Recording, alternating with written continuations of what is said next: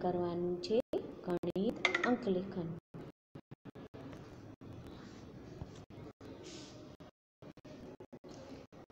આજે આપણે ગણિત અંકલેખન કરવાનું છે, બરાબર?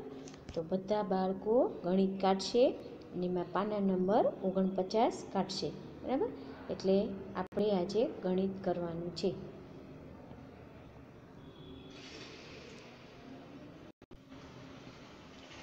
તો આજે બાળકો. આપણે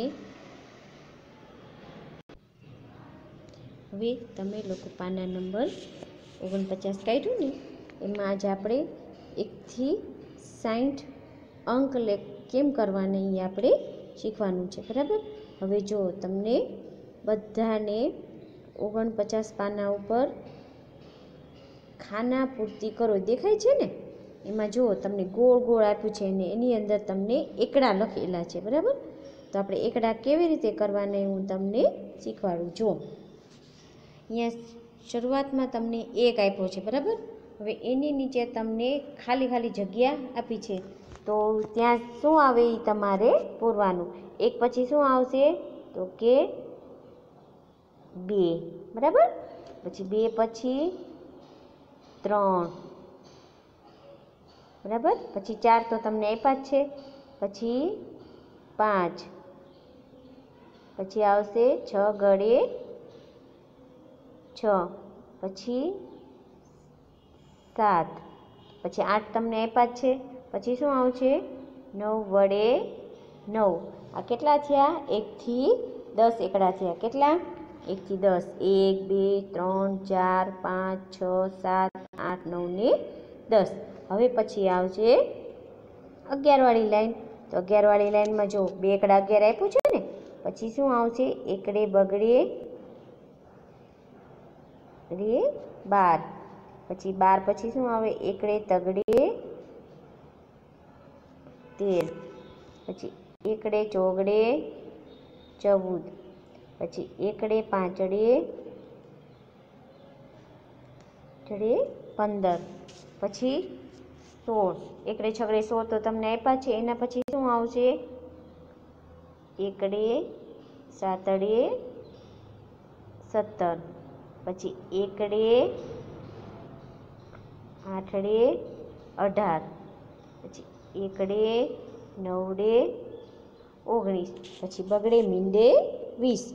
પછીની લાઈન એકવીસવાળી એકવીસ પછી શું આવશે? બાવીસ. કે બે બગડા બાવીસ. પછી તમને ત્રેવીસ તો આપેલા જ છે. ત્રેવીસ પછી શું આવશે? ચોવીસ. બગડે, ચોગડે, ચોવીસ. પછી પચીસ. પછી બગડે, છગડે, છવ્વીસ. પછી બગડે, સાતડે, સત્યાવીસ. બરાબર? પછી બગડે, આઠડે, અઠ્યાવીસ તો તમને આપેલા છે. પછી બગડે, નવડે, ઓગણત્રીસ. બરાબર? તમારે પેન્સિલથી નાના નાના અક્ષર કાઢવાના એટલે સમાઈ જશે, બરાબર? પછી તગડાવાળી લાઈન, તગડે એકડે એકત્રીસ, પછી બત્રીસ, પછી બે તગડા,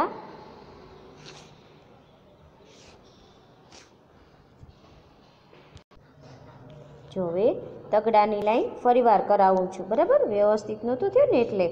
જો તગડે એકડે એકત્રીસ, પછી તગડે બગડે શું આવશે. તગડે બગડે બત્રીસ.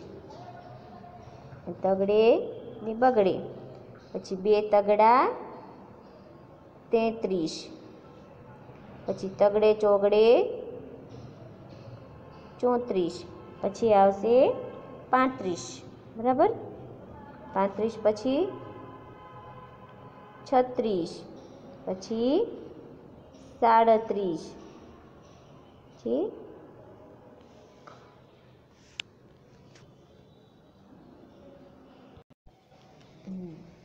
હવે આપણે તગડે આઠડે આડત્રીસ કર્યું હતું.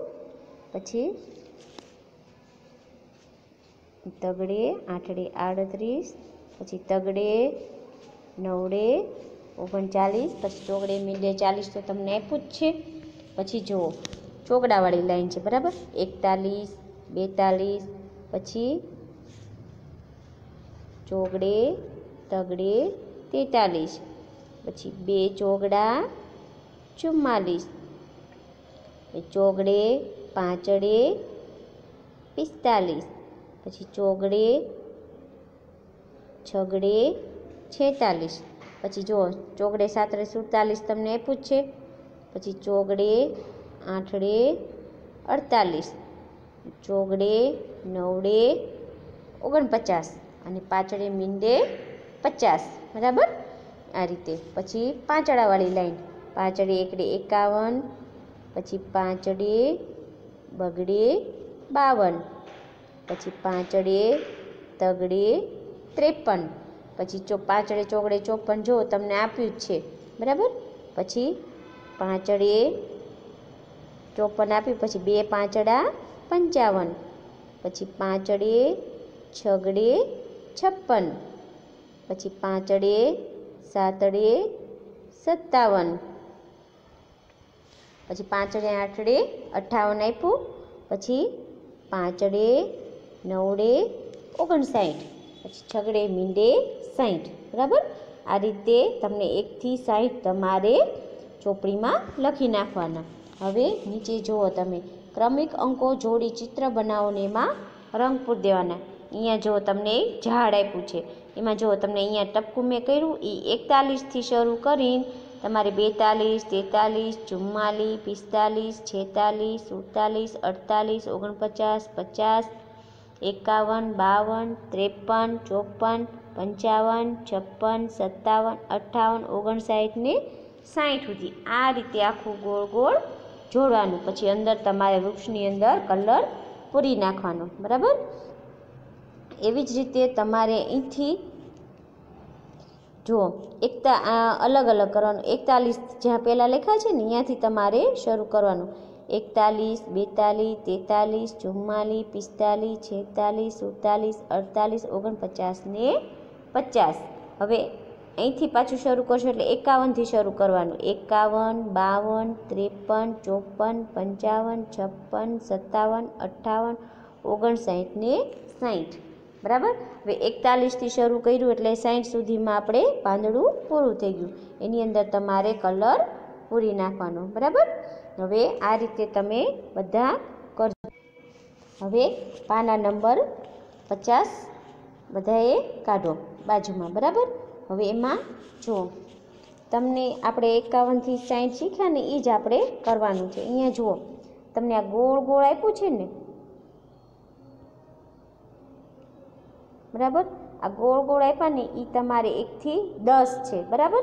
એટલે આપણે તમે અંદર ગણશો ને સ્ટાર જેવું, તો દસ થશે. કેટલા? એક, બે, ત્રણ, ચાર, પાંચ, છ, સાત, આઠ, નવ ને દસ. આખા ગોળ જે છે એ દસ છે. એટલે દસને દસ, વીસ. પછી આ ત્રીજું ચકડું ત્રીસ. પછી ચોથું ચાલીસ. અને આ પાંચમું છે એ પચાસ. એટલે આપણે દસ દસ દસ એમ પાંચ ગણો એટલે પચાસ થાય. પછી આ જુ, અલગ જે જુદા છે ને એને ગણવાના. એટલે કે પચાસ થયા પછી એકાવન, બાવન, ત્રેપન ને ચોપન. ચાર છે.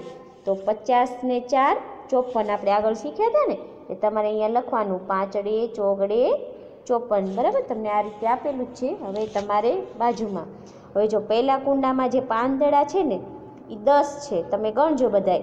બરાબર? એટલે એક દસ થયા, પછી આ બીજા દસ, આ ત્રીજા દસ, ચોથા અને પાંચ.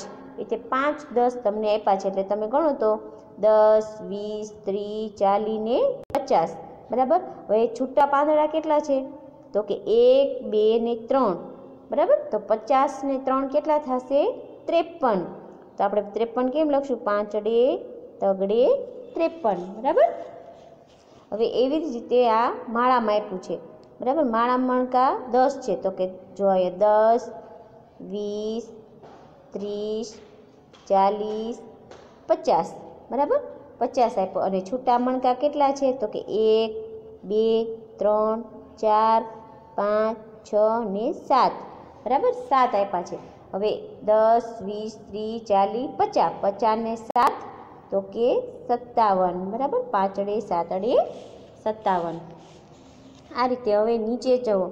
મણકા ગણીને અંક લખવાના છે. અહીંયા જુઓ તમને મેં તમને આગળ શીખવ્યું ને એમ જ છે. જો આ દસ, વીસ, ત્રીસ, ચાલીસ ને પચાસ.